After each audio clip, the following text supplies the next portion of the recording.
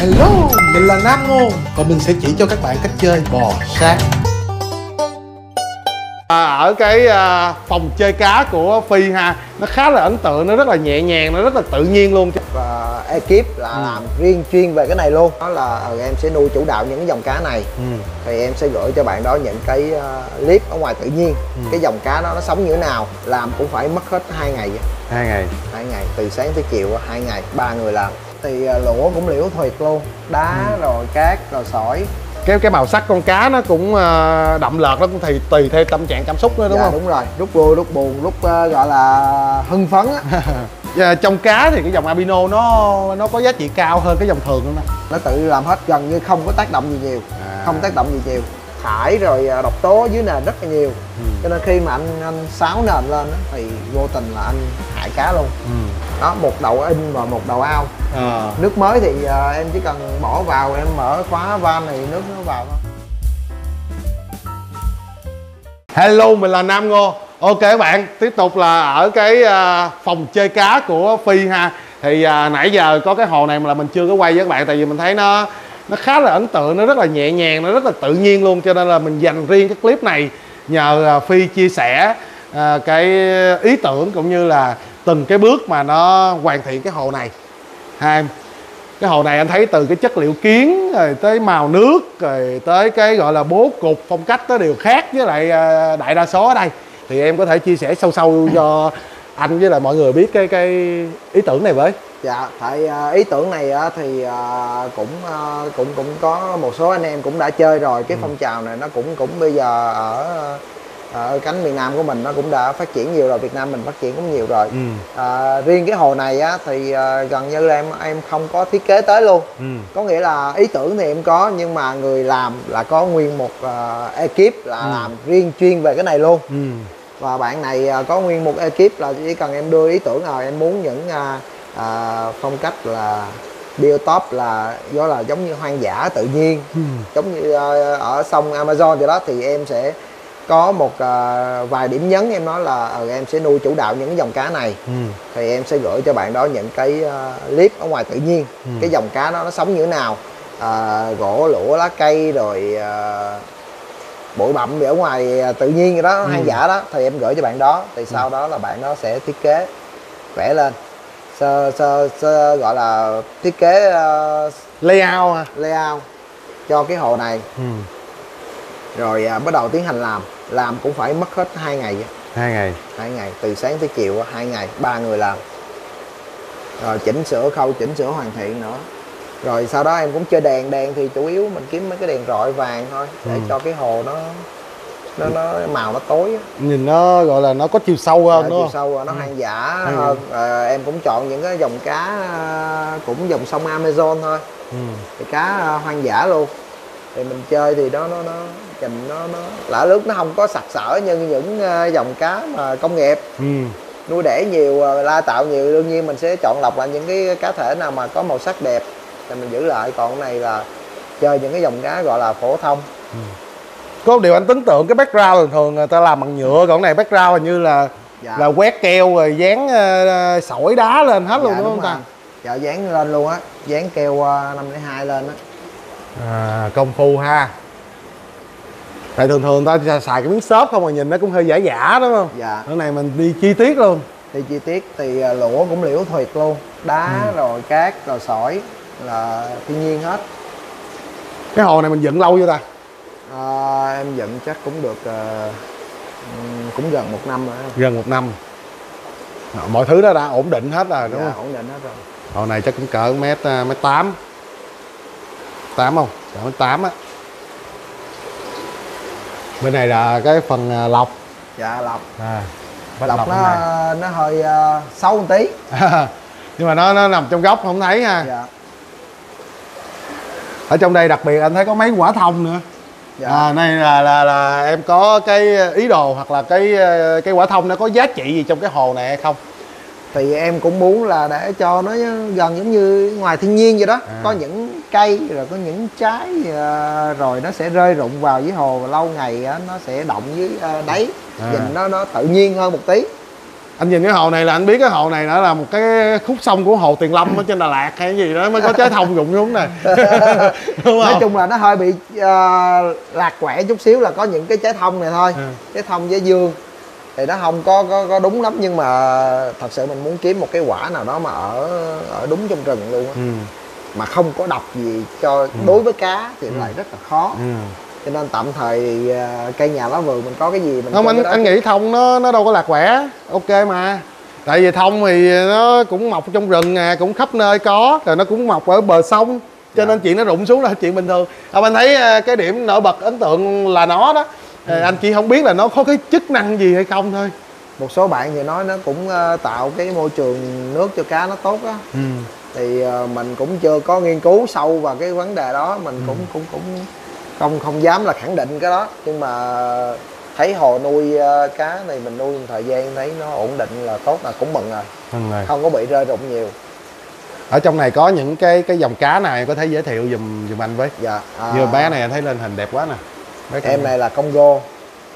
Congo. Dạ cũng Con- là lưu vật sông bên dòng sông Amazon luôn. Congo là có sọc đỏ đó ha. Dạ đúng rồi. Đây là bốn con nè cái này ba con đực là một con mái nè. À con mái mái nó không nhỏ hơn. À mái là không mái thì là không màu nó không có đẹp. À. nhưng mà đực á thì nó đẹp. Đặc đẹp. Dạ. Còn à, tiếp theo á nhiều nhất nữa là cũng dòng mấy con hải hồ. Hải hồ. Rồi à, này cá chuột. cái chuột. Cũng có lepo cũng có mấy em leco những mã mini á. À, con này thì à, cá à, thằng tiên à anh tâm. Thằng tiên. Tiên này cũng lạ lướt lắm nè. Dạ. Cũng hoang dã luôn á. Ừ. nhưng mà cái cái cái màu nó hình như nó hơi lợt hết ta? Cái sọc á. Dạ đúng rồi nó cũng phải chưa cái lúc mà sung nhất Ừ. con cá cái cái màu sắc con cá nó cũng ờ, đậm lợt nó cũng thì tùy theo tâm trạng cảm xúc nữa đúng dạ không? đúng rồi. Lúc vui lúc buồn lúc à, gọi là hưng phấn á. Này thằng tiên một bẹt thôi đây cô. Đây con bạn đu đây nữa nè. Hình như albino luôn đó ta. Dạ đúng rồi. Dòng amino á. Thấy mắt đỏ luôn nè. Mắt đỏ amino Và trong cá thì cái dòng albino nó nó có giá trị cao hơn cái dòng thường luôn nè dạ đúng rồi. Nếu mà albino nó vẫn là giá trị cao hơn tại vì nó cái cái cái cái cái lai tạo của nó nó khó hơn. Ừ. và nó gọi là nó nó thích nghi cái độ thích nghi cái độ sống sinh tồn của nó nó yếu hơn cái cá mà bản gốc của nó. Ừ. cho nên lúc nào cũng vậy nó cũng giá trị hơn. Con nào mà gọi là lai lai tạo ra nhiều hoặc là đột biến nhiều cá đột biến là lúc nào nó cũng mắc tiền hơn là cá thường như cái bạn đó thì em ờ, ờ, tổn hao bao nhiêu chi phí em có thể chia sẻ? Con này thì lại rẻ. Rẻ hả? Tại riêng cái dòng này á thì là cá này à, nói chung là nói về anh em chơi thủy sinh á thì dòng này đó là mọi người biết nhiều nhất. Ừ. nếu mà Leco thì họ không có rành lắm. Ừ. nhưng mà riêng con này á là trong cái môi trường thủy sinh là gần như hồ nào cũng có một con hết. À. Tại vì à, cái đó cứ cứ nghĩ là cá giống như cá chùa kiến. Kiều kiến. Mà con này đúng là thật sự là nó nó vệ sinh hồ rất là tốt. Tại Ừ. nó ăn tảo nó cũng thuộc dạng là dòng ăn à, ăn chay á ăn Ừ. rong rêu tảo rồi đó. Thì nó phục, phục vụ cho cái vấn đề gọi là à, vệ sinh hồ á vệ sinh trên hồ kiến á thì nó nó làm rất là tốt cho nên mọi người thích nuôi nó. Ừ. vậy nó rẻ nữa hay bỏ vô một con để cho nó nó nó, nó làm việc đúng không dạ mà nó sinh sản rất là dễ luôn á nha à nếu mà nói anh em tập chơi tập sinh sản là nuôi cái dòng này là để sinh sản là dễ nhất luôn ừ. dễ nuôi dễ, Dễ ghép sản. cặp, dễ sinh sản ghép luôn. cặp, dạ có cần phải Mà- tác động gì không ta hay thả vô là tự nó làm hết luôn dạ đúng rồi nó tự làm hết gần như không có tác động gì nhiều À. không tác động gì nhiều mà nó sinh sản nhiều quá cho nên là cái giá thành nó lại rẻ. À, thì cái gì cũng vậy hả? Dạ cái đó nó diện vậy đó. À, cái nào khó thì nó mới có giá trị còn mà nó nhiều quá bắt đầu là giá cả nó lại ờ, lại xuống thấp. Mấy bạn Congo này anh thấy nó cũng hay đi theo đàn đúng không ta? Dạ đúng rồi. Anh nếu thấy mà cũng- anh nuôi nhiều quá nó cũng đi theo đàn đó. Đẹp ghê á. Qua cái, cái cái camera thấy nó sáng sủa đẹp hơn nữa ha. Nó, nó, nó lên cái màu á mình nhìn nó trong trong kia có con mã Leco rồi đó. À, ba chín bảy. Giống như con con cọp á. Dạ đúng rồi sọc ngựa sọc cọp đó đẹp quá. Không nó ngụy trang á không? Nuôi trong hồ này đúng là để cho nó phù hợp cho việc ngụy trang luôn á nhìn nó với lại trong hồ nữa tệp màu liền với cái màu với cái lũa luôn. Dạ. còn cái nền này em xài nền gì em nền này nền sỏi thôi anh. Mình sỏi rồi dạ nền sỏi thường thôi. Mấy cái mấy bạn cá này chắc cũng ít đi vệ sinh. Ít hơn. Về à, em thay nước rồi. Có phải là phải làm à, nhiều như là cái dòng à, hồ chuyên Leico dạ không? riêng cái hồ này em thay nước rất ít luôn. Thay nước ít luôn. Gần như một tháng em thay khoảng 4 lần. À. Là cũng à, thay à, thay chắc cỡ 30 phần trăm thôi hả? Dạ khoảng 30 tới 50 phần trăm thôi chứ Ừ. không có thay nhiều như mấy hồ kia. Tại à, hồ này em đó em chuyên chú tâm về cái à, gọi là cái layout nhiều hơn này cái cảnh hơn. nhiều hơn chứ không có chuyên à, không có chú trọng về cá ví dụ như à, cá thì kiếm những con nào dễ nuôi á ừ. nó không có có có đòi hỏi cái độ mức độ chăm khó thì mình cứ thả trôi thả nổi nó vậy đi Ừ. có thể là nó không được đẹp lắm so với những ờ, hồ mà những bạn mà nuôi chuyên về những cái con này dòng Ừ. này nhưng mà gọi là theo cái gọi là cái cái cảm giác gọi là chấp nhận á mình cảm thấy cái hồ này nó chấp nhận anh được. thấy đẹp quá trời luôn. Anh mà ngồi đây anh, anh, anh chiêu anh chắc anh dính luôn. Á. mắt anh sẽ đi theo mấy bạn cá này chạy tới chạy lui ở đây chắc phê. Thì ờ, có thể là sắp tới em sẽ thêm những dòng cá đàn vô trong cái hồ này để À. nhìn cho nó đẹp hơn. Nhưng mà lại có nhược điểm là hồ mà nhiều cá quá thì lại mình phải chăm kỹ hơn nó cực rồi. hơn. Đúng chứ không có nó phát sinh bệnh rồi nó chết đi thì cũng cũng phí phạm quá cũng tiếc ở đây em chỉ có xài cái à, cũng có lọc trên với lọc đáy ha à, cái ờ, kia là lọc lọc này là hồ này là theo hệ thống lọc vách hút, vách. hút mặt và hút đáy à. hút mặt hút đáy thổi rồi đi đường đường ống lên là thổi trên ờ, thổi trên thôi chứ không có thổi dưới đáy tại vì ở dưới mình chơi nền sỏi cho nên mình thổi đáy nó cũng cũng cũng bất tiện lắm ừ.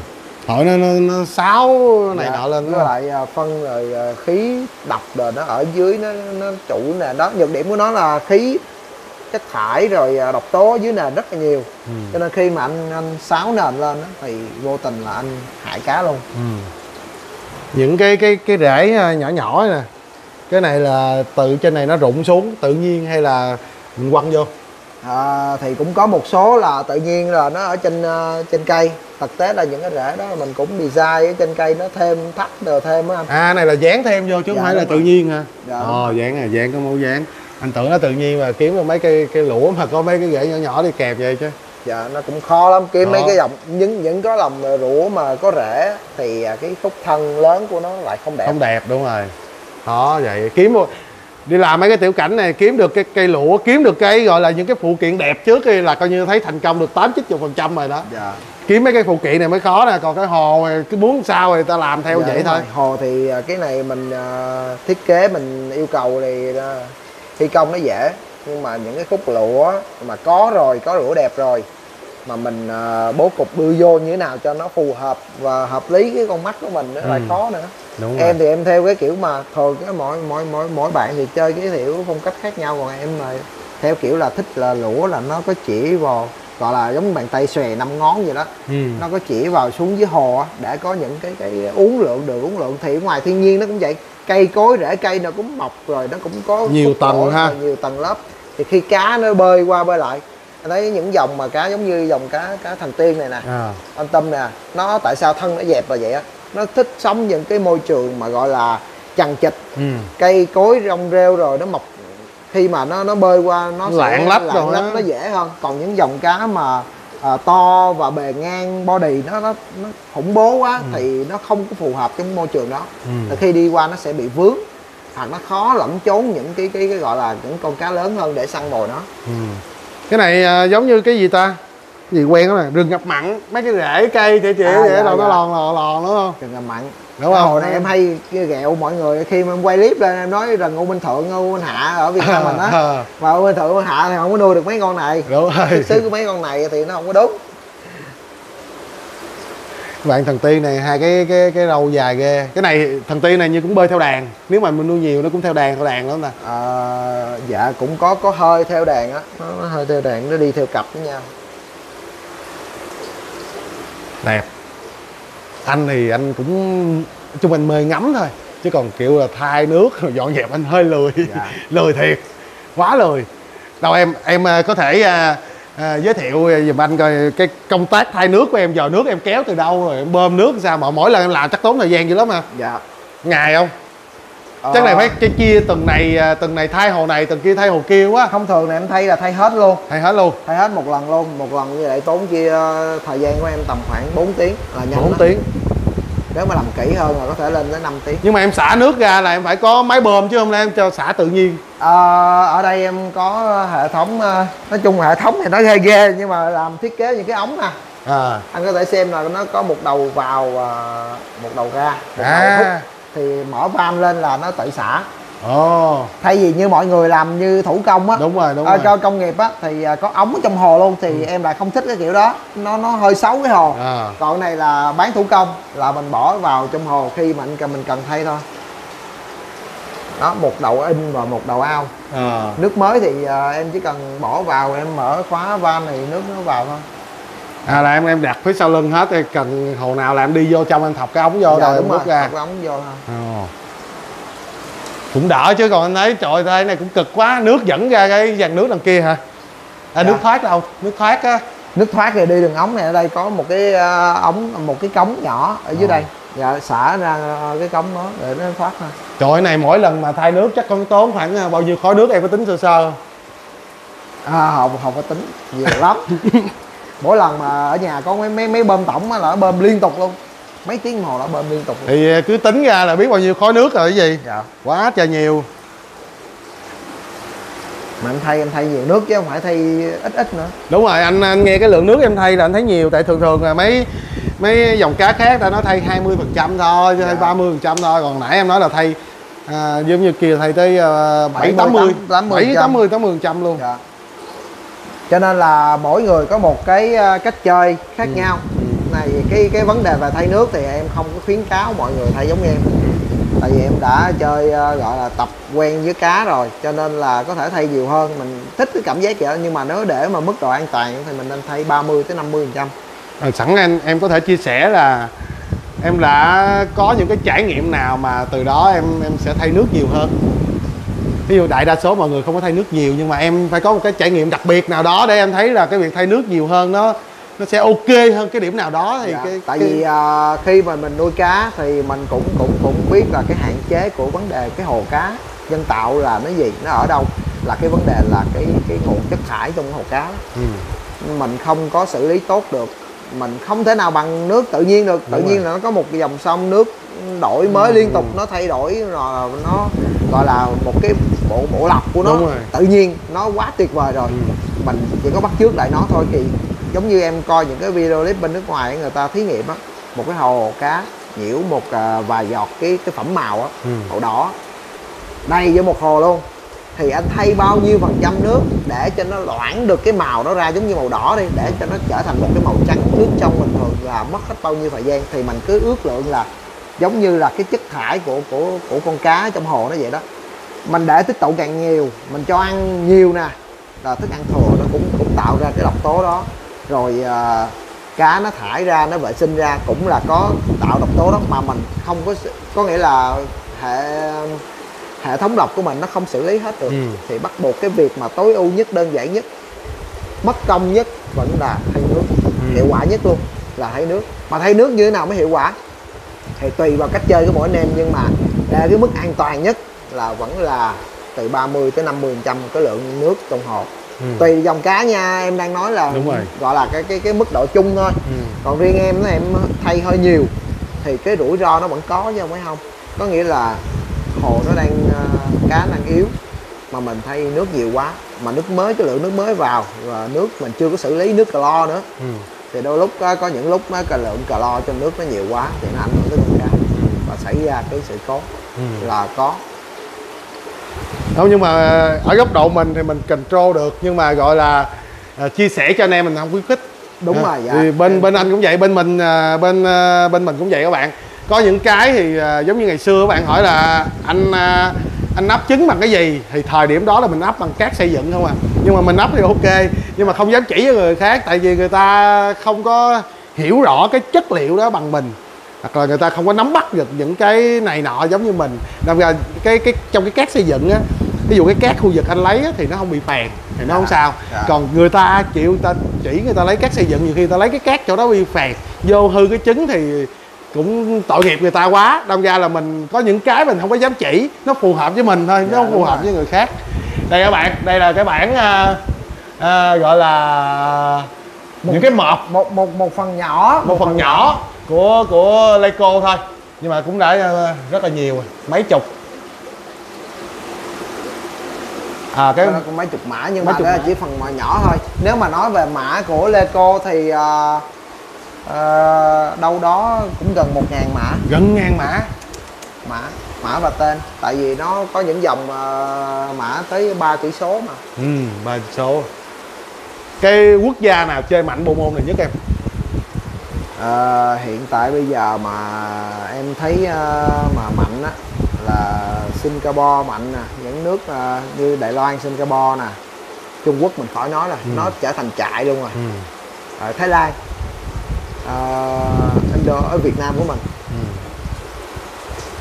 còn một số nước như là Indo Mã Lai cũng cũng cũng cũng phát triển cũng tốt nói chung thấy khu vực đông nam á mình có vẻ thích chơi cá cảnh là nhiều dạ ha đúng rồi còn mà riêng châu Âu à, như là Đức nè rồi à, một số nước châu Âu thì nó vẫn có ý nó vẫn có nhưng mà nó nó không có nhiều lắm anh thấy mấy như Không, đức đồ rồi. là nó mạnh về những cái à, phụ kiện Dạ, cho rồi, cá phụ cảnh về cá. vi sinh rồi máy lọc đồ tất cả mọi cái nó rất là mạnh luôn dạ em à, chơi trong cái bộ môn này à, thì trong cái tương lai gần thôi em có một cái ý tưởng hay một cái dự án nào mà em muốn chinh phục nó cái à, cái cái mà gọi là niềm đam mê bất tận của em á là vẫn là lai tạo. Nó là tạo. Em vẫn đang muốn là lai tạo một số mã tiếp theo. Những mã nào thành công rồi thì ờ, nếu mà còn con ờ, chống máy á, thì mình cứ ờ, tiếp tục còn những mã nào mà chưa chưa có điều kiện thì mình cố gắng mình kiếm cho nó đủ sưu tầm sưu tầm thôi. đủ làm ok Dạ. chúc em à, luôn thành công với lại cái à, đam mê lai tạo của mình tại vì đó cũng là cái đam mê của anh đam mê nhất của anh vẫn là lai tạo Dạ. muốn tìm cách để là làm ra một cái màu nó mới à, có cái kiểu hình nó mới nó lạ mà chưa ai làm được thì đó vẫn là cái đam mê lớn nhất của anh Dạ. thì anh sẽ coi như là từ cái đam mê đó mà nó làm cho cái cuộc chơi của mình nó ngày càng nó có chiều sâu hơn nó nó đi được đường dài hơn cho nó luôn. Dạ. ok em thôi chúc em có nhiều à, động lực để mà chinh phục những cái đam mê của mình ha. Dạ, rồi, rồi cảm ơn ok. cảm ơn em Dạ. rất là nhiều về những cái chia sẻ của ngày hôm nay. Dạ. ok các bạn chúc à, mọi người à, có thật nhiều sức khỏe và xem clip vui vẻ ha. Ai mà có đam mê có hứng thú với dòng Lego thì có thể à, kết nối với lại à, Phi. Ha Phi sẵn sàng chia sẻ với mọi người về những cái đam mê của mình. Dạ. ok thank you em. Cảm ơn anh dạ. Quá hay luôn.